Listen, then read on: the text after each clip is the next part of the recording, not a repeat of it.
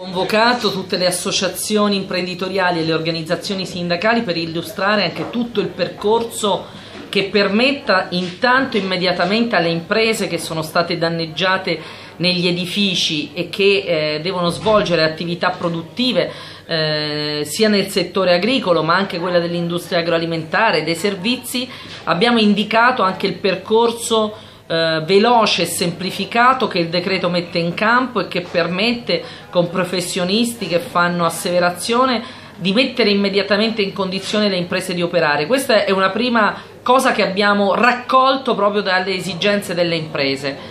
Il secondo invece è un ragionamento su tutto il percorso della ricostruzione, che ha delle specificità, le imprese e i lavoratori sono coinvolti, sia quelli che dovranno essere parte del percorso di ricostruzione, imprese de, dei settore, delle costruzioni, professionisti, sia le imprese che sono state danneggiate nell'indotto determinato dal sisma. Il turismo è uno di questi e c'è una specificità valnerina che è diversa eh, dal turismo che è stato colpito nel resto della regione. Quindi dobbiamo immaginare anche due percorsi paralleli. Uno che faccia ripartire il prima possibile il turismo anche del resto della regione in tutte quelle città e in tutti quegli stabili che non sono stati interessati direttamente dal sisma ma che nell'immaginario di un turista vengono non vengono scelti. Oggi i turisti stanno scappando dall'Umbria nel suo complesso.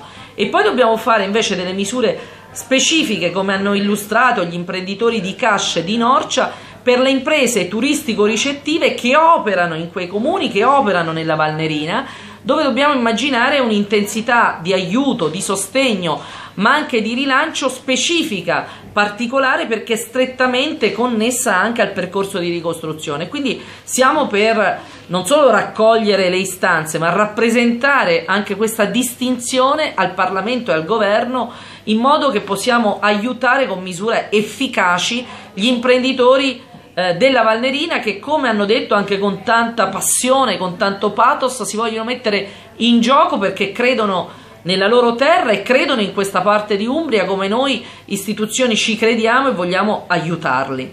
Ecco, a suo giudizio, quando potrà ripartire il turismo in maniera, eh, come dire, continuativa nei territori purtroppo più colpiti?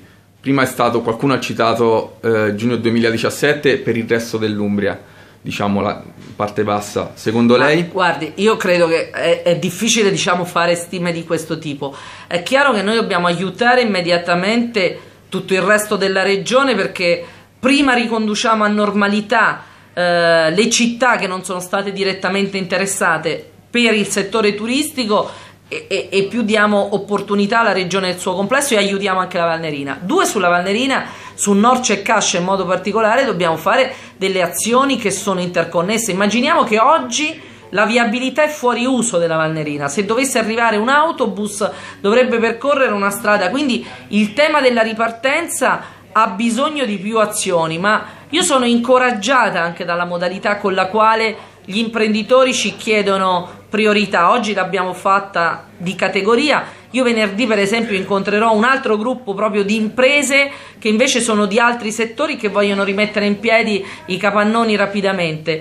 Eh, allora, prima li dobbiamo aiutare con procedure semplificate, col contributo finanziario, ma parallelamente insieme con loro dobbiamo studiare come queste strutture intanto sono oggi al servizio della ricostruzione e poi sono al servizio anche di un progetto di rilancio turistico. Sicuramente la Valnerina avrà bisogno di qualche tempo medio più lungo del resto della regione, ma vogliamo essere a fianco anche di questa sfida. Eh, Vincenzo Bianconi ha fatto un intervento appassionato.